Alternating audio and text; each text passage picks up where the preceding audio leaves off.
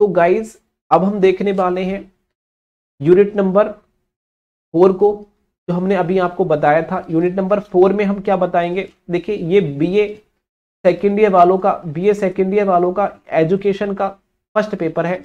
और इसमें हम देख रहे हैं 2021 के इंप्रूवमेंट एग्ज़ाम या फिर बैक पेपर में आने वाले क्वेश्चन मैं आपसे वादा करता हूँ, यहाँ से क्वेश्चन कोई बाहर नहीं जाएगा। आपसे वादा करता हूँ कि आप पीडीएफ को डाउनलोड कर लेते हैं तो आपको कोई फेल करने वाला पैदा नहीं है। ये मैं आपसे बोल रहा हूँ। आप चाहे कानपुर यूनिवर्सिटी से हो या फिर आगरा यूनिवर्सिटी से हो नखलऊ यूनिवर्सिटी से हो यूपी के किसी भी यूनिवर्सिटी से क्यों ना हो और या फिर आप एमजेपी आर्य रोहलखंड से भी है तो भी आप पीडीएफ को डाउनलोड कर लेना। मैं आपसे बोल रहा हूँ कोई भी क्वेश्चन बाहर नहीं जाएगा। मैं आपसे वादा करता हूँ कि आपको फेल नहीं होने दूँगा। बस आप पीडीएफ को डाउनलोड कर लेना और ये जो बता रहा हूँ इन क्वेश्चनों को पढ़ लेना जो पीडीएफ में मैंने दिए हैं। कुछ भी बाहर नहीं जाएगा। आप सभी लोग इस आ, इस चैनल को सब्सक्राइब करेंगे और दोस्तों को शेयर करेंगे, एक वीडियो को लाइक करेंगे, ठीक है? और हाँ चैनल को सब्सक्राइब करना कभी नहीं भूलेंगे। अभी सब्सक्राइब करो पहले तो ठीक है? और बेल आइकन को प्रेस कर देना। यहाँ बोला गया है, चौथे यूनिट में, देखिए, यहाँ बोला गया है सी डब्ल्यू जो वियर्स की एक पुस्तक थी a mind that found it it sell itself कब प्रकाशित हुई थी, ये बहुत ज़्यादा इंपोर्टेंट है, इसलिए ये याद कर लेना 1908 में प्रकाशित हुई थी, बहुत ज़्यादा इंपोर्टेंट है।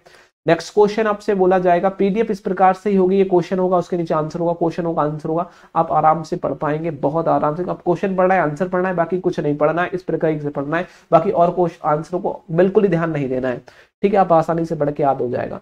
यहाँ बोला गया है, किसने कहा कि मानसिक स्वास्थ्य का अर्थ दैनिक विज्ञान की भावनाओं, इच्छाओं, महा, कह सकते हैं महत्वाकांक्षाओं व आदर्शों में संतुल रखने की योग्यता तो ये किसकी दी थी? आप सभी को पता है, ये कुंपू शामी द्वारा दिया गया था ये चीज़। ऑप्शन नंबर, ये कथन था उन्हीं के एक सामाजिक स्वार्थ का अर्थ है। वो किसके द्वारा? कुंभू स्वामी द्वारा। ऑप्शन नंबर डी की ओर जाएँगे। नेक्स्ट क्वेश्चन बोला गया है वह बालक जो मानसिक शारीरिक सामाजिक सब, या सम, आ, कह सकते हैं संविगात्मक आदि विशेषताओं में औरत सॉरी में औसत से विशिष्ट विशिष्ट हो और वह विशेषता इस स्तर की ओर हो कि उसे अपनी विकास क्षमता की उच्चतम सीमा तक पहुँचने के लिए विशेष परीक्षण की आवश्यकता हो। तो विशिष्ट बालक कहलाता। ये कथन किसका था? तो ये क्रो व क्रो का था। ऑप्शन नंबर ए की ओर जाएँगे। यहाँ कह रहा है, पृथ्वी प्रतिभाशाली जो बालक होता है, शब्द का प्रयोग उन प्रति, उन उन एक प्रतिशत बालकों के लिए किया जाता है जो सबसे अधिक बुद्धिमान होते हैं। ये कथन किसने कहा था? ये कथन कहा था स्किनर और हैरीमैन ने। ऑप्शन नंबर हम सी की ओर जाएँगे। नेक्स्ट क्वेश्चन है प्रतिभाशाली बालक प्रतिभाशाली बालक होता है शारीरिक शारीरिक गठन और सामाजिक समायोजन व्यक्तित्व के लक्षणों और विद्यालय उपलब्धि खेल सूचनाओं और रुचियों की बहुरुचियों से सामान्य बालकों से बहुत श्रेष्ठ होते हैं। ये कथन किसका है? तो आप कहेंगे ये टॉरमैन और ओडन का है। ऑप्शन नंबर बी की ओर जाएँगे। नेक्स्ट क्वेश्चन है प्रतिभाशाली बालक खेल जो आ, कह सकते हैं जो आ, जो पसंद जो पसंद करते हैं, ठीक है? यहाँ बोला गया है जो प्रतिभाशाली बालक खेल पसंद करते हैं, वो फाइव परसेंट मित्र बनने की इच्छा करते हैं और अस्सी परसेंट धैर्यवान होते हैं, दूसरों का सम्मान करते हैं और छियानवे परसेंट क्या होते हैं? अनुशास प्रिय होते हैं। ये कथन किसका था? ये कह रहे हैं, ये बुंदी का द्वारा बोला गया ये कथन। नेक्स्ट क्वेश्चन बोला गया प्रतिभाशाली बालक के लिए शिक्षा का सफल कार्यक्रम वही हो सकता है जिसका उद्देश्य उसकी विभिन्न योग्यताओं का विकास करना है। ये कथन किसका था? तो आप सभी कहेंगे, ये किसका था? ये था बेटा हैविंग हॉस्ट का। हैविंग हॉरेस्ट का। ऑप्शन नंबर किसका था? हैविंग हॉरेस्ट का था। Option number A option number A next question है, पिछले बालक उसी जीवन आयु के अन्य बालकों की तुलना में विशेष शैक्षिक निम्न व्यक्त करते हैं। ये कथन किसका था? आप ये कहेंगे, सोनेल और सोनेल का था। ऑप्शन नंबर एक ही ओर जाएँगे।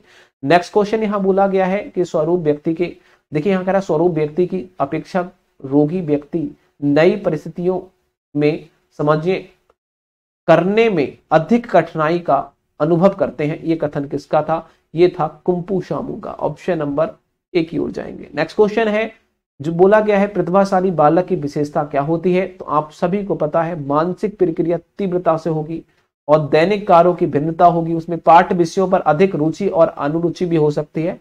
ये उपरोक्त सभी हो जाएँगे। नेक्स्ट क्वेश्चन यहाँ बोला गया है कि पिछड़ा बालक वह होता है जो अपने विद्या, कह सकते हैं, विद्यालय जीवन को मध्य में अपनी कक्षाओं से नीचे की कक्षा में उस कार्य को ना करने करने आ, कर सके जो उस आयु के बालकों के लिए सामान्य कार्य होता है। ये कथन किसका था? तो आप सभी कहेंगे सिरल वर्ड का था ऑप्शन नंबर बी की ओर जाएँगे।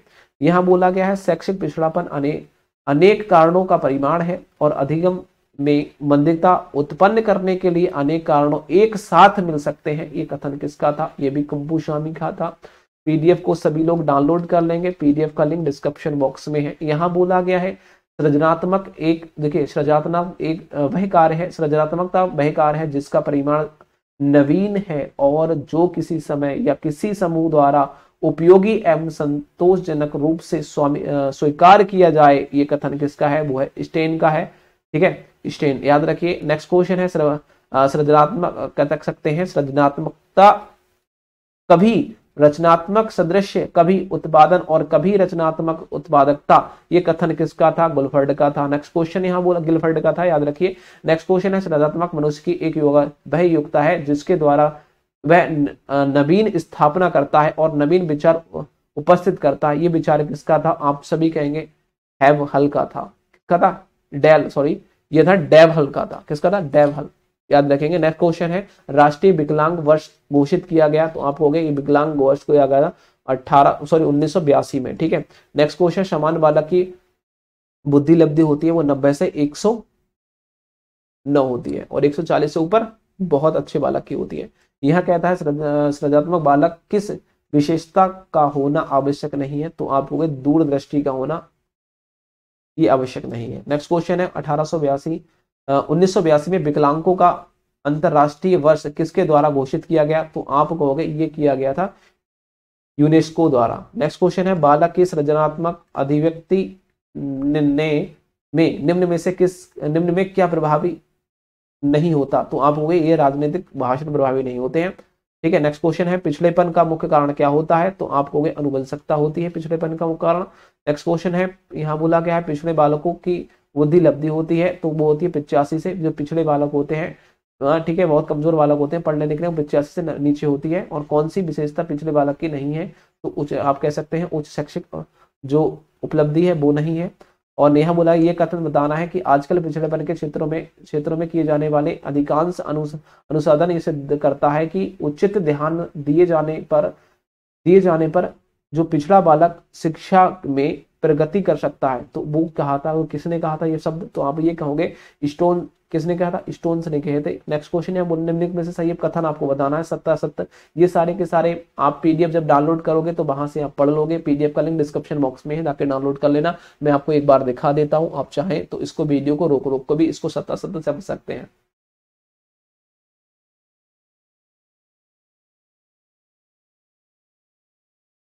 अब देख सकते हैं, ये हमारी सेकेंड बुक से कुछ क्वेश्चन आए हैं जो बहुत ज़्यादा इंपॉर्टेंट है। तो सभी छात्रों से कहना चाहूँगा कि वो पीडीएफ को डाउनलोड कर ले। पीडीएफ का लिंक डिस्क्रिप्शन बॉक्स में है। थैंक यू लव यू और चैनल को सब्सक्राइब करना ना भूलें। और चैनल दोस्तों को शेयर कर दो वीडियो को और पीडीएफ को डाउनलोड कर लो। Thank you